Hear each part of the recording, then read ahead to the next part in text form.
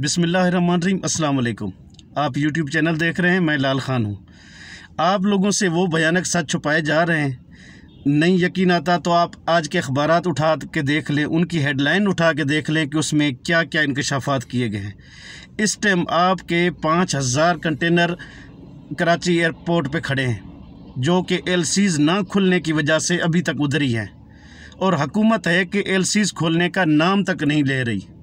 आप जनरल अमजद शोएब साहब की बात याद रखें कि ये कोई अपना कोई कुदरती क्राइसिस नहीं है। ये मैन मेड क्राइसिस है जो कि स्पेशली किसी को टास्क दिया गया है और वो ये सारी चीज़ें करता जा रहा है।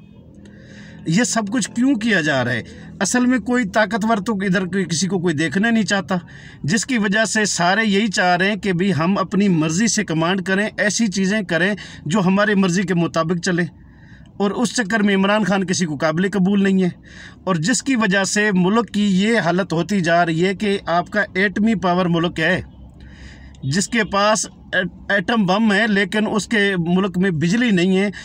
24 घंटे गुजर चुके हैं और पूरे मुल्क में अभी तक बिजली बहाल नहीं हो सकी। ये हालत कर दी इन्होंने हमारे मुल्क की। और आगे आग, जो आइंदा भयानक होने वाला है, वो इससे भी ज़्यादा भयानक है। जो इन्होंने अभी मनी बजट लाना है ये कम के ऊपर, उसमें जो पेट्रोल की कीमतें बढ़ानी हैं, जो उन्होंने बिजली की कीमतें बढ़ानी हैं, जो गैस की कीमतें बढ़ानी हैं, वो आपकी सोच है, जब आपके बिल आएँगे, आपको लग पता जाएगा कि इन्होंने किया क्या है। क्योंकि ना डॉलर है इनके पास, ना ही अभी बिजली पैदा करने के लिए इनके पास इतना फ्यूल है कि ये मुल्क की इसको चला सकें बिजली को। जिसकी वजह से ये सारे ये जो जानबूझ के ये जो ट्रिपिंग सिस्टम है जी, ट्रिप हो गया, फीडर ये हो गया, फीडर वो हो गया, ये सब टोपी ड्रामा वाम को पहनाया जा रहा है। कोई कुछ नहीं हुआ, सिर्फ़ अपनी फ्यूल बचाने के लिए, क्योंकि ख़रीद सकते नहीं हैं, डॉलर ही नहीं है मुल्क में। ठीक है, जिनके पास हैं तो उन्होंने अपने तय खानों में बंद करके रखे हुए हैं, क्योंकि वो बैठे बैठे अरबपति बन रहे हैं। जब भी वो डॉलर निकालेंगे, जब 300 पे जाएगा तो वो बैठे बैठे खरपति बन जाएँगे। तो ये सारा कुछ प्री प्लान तरीके से किया जा रहा है। अब भी टाइम है कि अदालत इस पे एक्शन ले और जो सैफर है उसके ऊपर तहकीकात करे कि आखिर ये कौन है जो प्री प्लान तरीके से हमारे मुल्क को इस नहज तक लेके जा रहा है। वरना किसी के हाथ कुछ भी नहीं रहेगा। ये इमरान खान के बुगज़ के अंदर मुल्क को उस नहज पे ले जाएँगे जहाँ किसी के हाथ कुछ भी नहीं आएगा और मुल्क डिफ़ाल्ट कर जाएगा। असल हकीकत में तो हो चुका है। अगर बात करें तो फिर जी आप, आपको उठा लिया जाएगा, आपको ये करेंगे, आपको वो करेंगे, मीशत पे बात न करें। भाई इससे ज़्यादा और क्या भयानक होना है मुल्क के साथ जो आप लोगों ने कर लिया है। अभी आगे इनकी प्लानिंग क्या है, वो सुनते जाएँ। भाई कराची के अंदर, पंजाब के अंदर और के पी के के अंदर और बलूचिस्तान के अंदर। बलूचिस्तान में बाप पार्टी आपको पता है कि इनके इशारों पे चलती है और बाप का बाप कौन है। वो पीपी के अंदर जम हो जाएगी। पीपी को मज़बूत किया जा रहा है और जीडीए को सपोर्ट की जाएगी ताकि वो भी उधर मज़बूत हो। ये जो जमात इस्लामी वाले हैं, इनको भी कहा गया है कि आप पीपी के साथ अभी से अलाइंस कर लें। पंजाब के अंदर सेंट्रल पंजाब के अंदर पीपी को जगह देनी है और नून लीग की हमायत करनी है।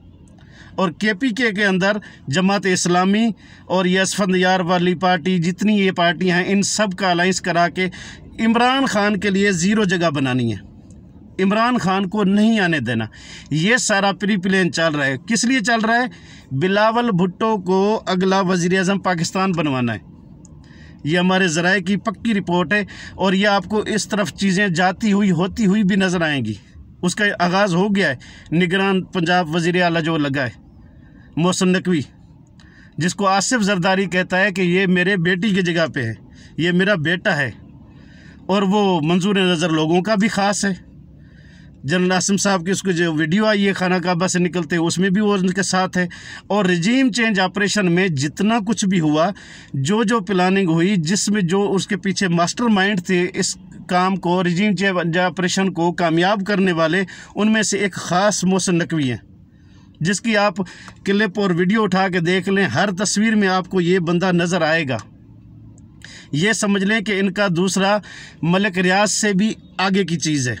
पहले वो थे, लेकिन वो अभी ये उससे भी दो हाथ आगे निकल चुके हैं, क्योंकि इनके पास मीडिया भी अपना है और ये पैसों में भी उनसे थोड़ा दो हाथ आगे चले गए और हर जगह पे साथ देते हैं ख़ास लोगों का।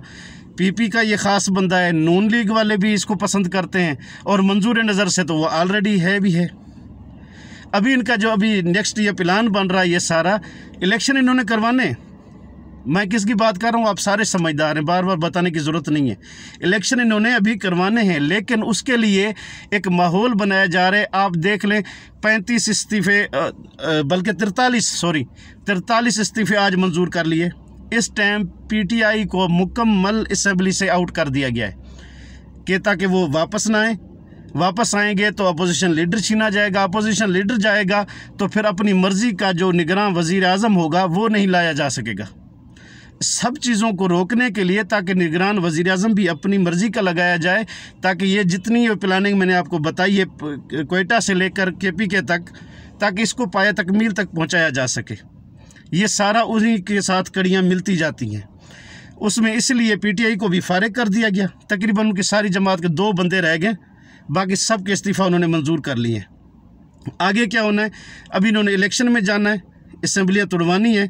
उसके लिए जो हमारे ज़राए बता रहे हैं कि जो जज हैं, साकिब निज़ार, निसार साहब रिटायर, उसको निगरान वज़ी अजम के तौर पर ख़बरें सामने आ रही हैं, जो हमारे ज़राए बता रहे हैं कि उसको लगाया जाएगा।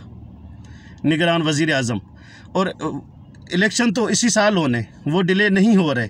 लेकिन पूरी प्लानिंग के साथ इमरान खान को आउट करके, और ये जितने मैंने आपको चीज़ें बताई हैं, इनके साथ मैनेज किया जाएगा। और अभी तक पूरे मुल्क में आपकी बिजली भी ठीक नहीं होगी, क्योंकि जो वज़ीर तोानाई हैं, उसने खुद कह दिया है कि अभी अड़तालीस से बहत्तर घंटे मज़ीद लगेंगे। तो क्या ख्याल है, ये ख़राबी है? तीन दिन, दो दिन, आज दूसरा दिन हो चुका है और तीन दिन मज़ीद चाहिए। सिर्फ़ अभी तक उनको पता भी नहीं चला। उसने बाकायदा आके